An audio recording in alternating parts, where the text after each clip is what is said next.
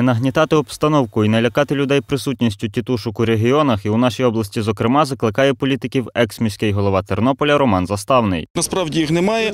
Є окремі там мародери. Я думаю, що з ними буде дуже швидко порішене питання. Це дуже актуально, тому щоб не відбулося те, що на київському рівні.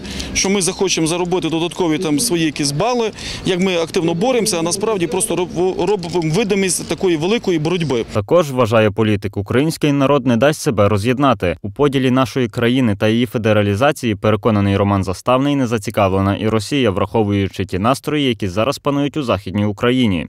Українська е, економіка побудована на багатофакторності. Російська економіка побудована на енергоносіях, продаж газу і частково нафти. Скажімо так, для того, щоб функціонувала газотранспортна мережа, вона не може функціонувати без сховищ, які знаходяться в Західній Україні.